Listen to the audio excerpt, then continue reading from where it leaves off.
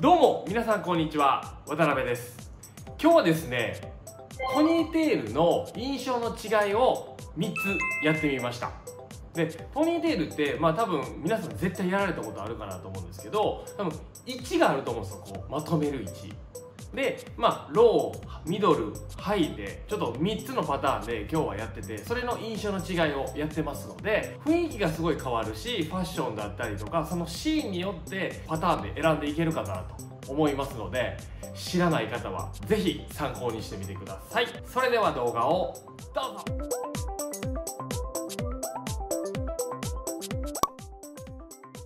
まずはローポニーテールからやっていきます。でローポニーテールのまとめる位置なんですけど大体、まあ、襟足の耳から下のこの辺ですね。の位置で髪の毛をまとめます。で印象的になんですけどやっぱりローポニーテールは大人っぽい感じの印象。どちらかというとナチュラルな感じですかね。で、えーとまあ、難易度的にはポニーテールの中でも一番簡単かなと。この辺の、えー、たるみもなくて全体的にしっかりとまとめれるので大人っぽくきちっとした感じの印象には見えるかなと思います。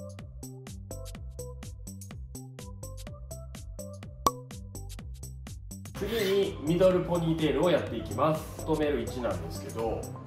襟足よりも少し上がったところ後頭部あたりですかね。後頭部より気持ち上でもいいかなと思うんですけどこの辺りぐらい。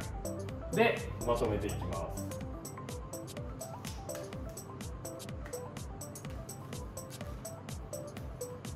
でミドルポニーテールの印象的なんですけど女の子らしいイメージできちっとした感じが少し崩れるというかあのラフな印象にはなるかなと思います。で難易度的には真ん中ぐらいなのでポイント的にはこの辺のちょっとたるみが少しだけ出てくるのでそれをこうあまり出さないようにしてあげるとバランス的にはいいかなと思います。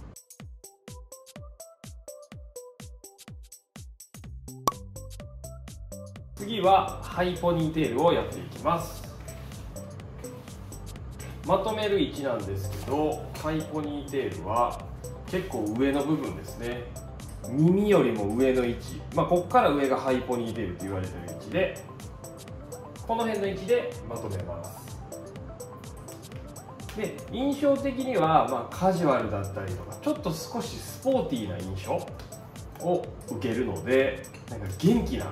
印象になりますね。で難易度的にはやっぱりここが結構すごくたるみやすいのでここをしっかりと上げた上でまとめてあげるとバランスが綺麗になるかなと思います。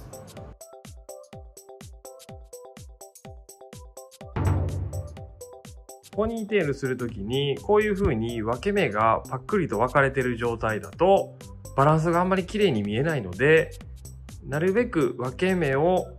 溶かして隠すような感じにしてまとめてあげると綺麗に見えます。こんな感じでやってみました。まあちょっとこう仕上がりは少しちょっと変えてみたんですけどちょっと印象を見やすくするために。まあでも本当にそのローポニーテールはまあどちらかというと大人っぽい感じできちっとした時に使える方法でナチュラルに見えるかなと思います。で逆にミドルポニーテールは少しこう女性らしいというかまあラフな印象に見える感じですね。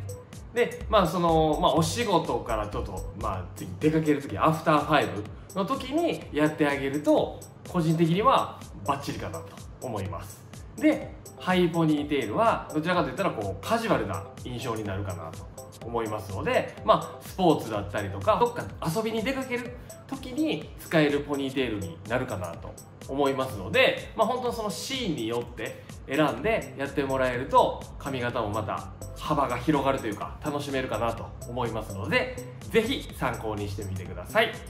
この動画良かったら高評価ボタンとあとチャンネル登録もよろしくお願いします。それではまた。さよなら。